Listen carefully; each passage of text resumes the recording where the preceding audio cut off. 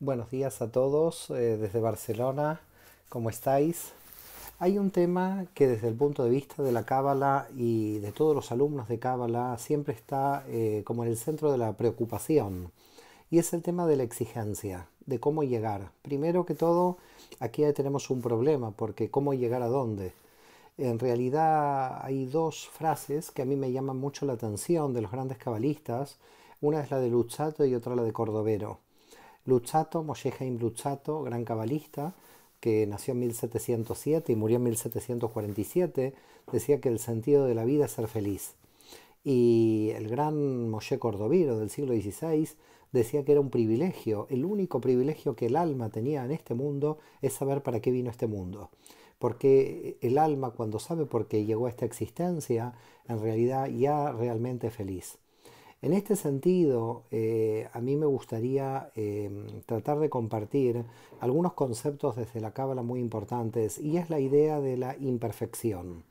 Hay gente eh, que lamentablemente cree que tiene que ser perfecta, es decir, que tiene que eh, lograr de alguna forma la perfección. Y la perfección es una palabra satánica, porque ¿qué es ser perfecto?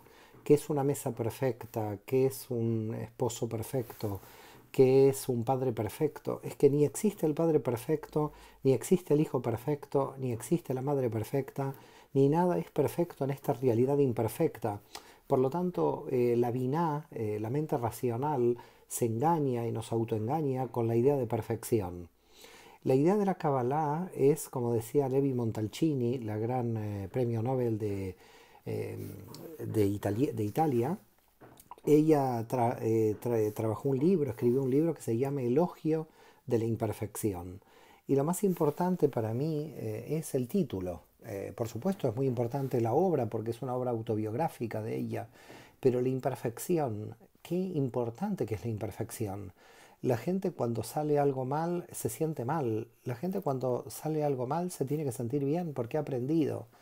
Pero ahí está el problema. El problema es cuando dividimos desde la biná qué sale bien y qué sale mal. ¿Quién alcanza el éxito y quién eh, no alcanza el éxito? La dualidad entre éxito y fracaso. Eh, si una persona eh, se siente fracasada es que la mente le está haciendo una mala jugada.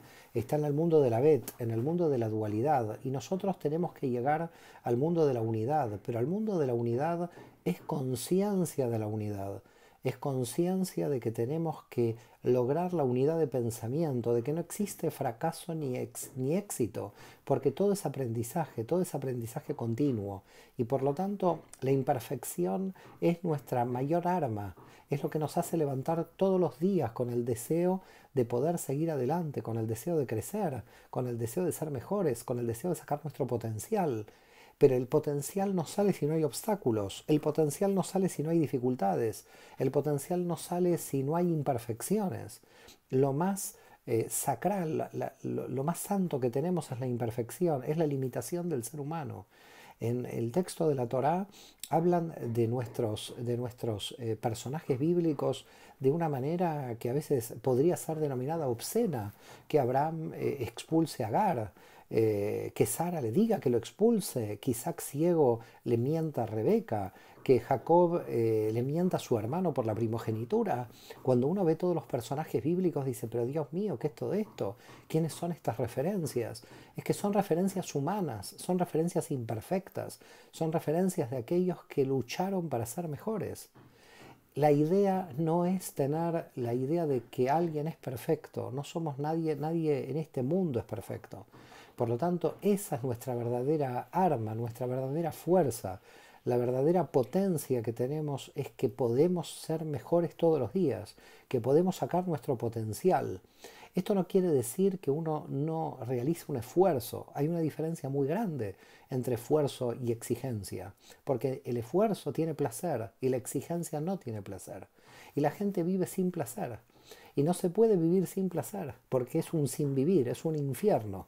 La mayor ofrenda a Dios para los creyentes es ser felices, como decía Luzzatto y Cordovero. la mayor desgracia de una persona en este mundo es ser infeliz, pero si aprende de que es imperfecto, si aprende de que las dificultades son los que llevan en realidad la grandeza, ¿eh? Yeshua de Nazaret decía con eh, la parábola del fariseo y el publicano, eh, el fariseo se arrojaba los méritos y el publicano veía sus imperfecciones.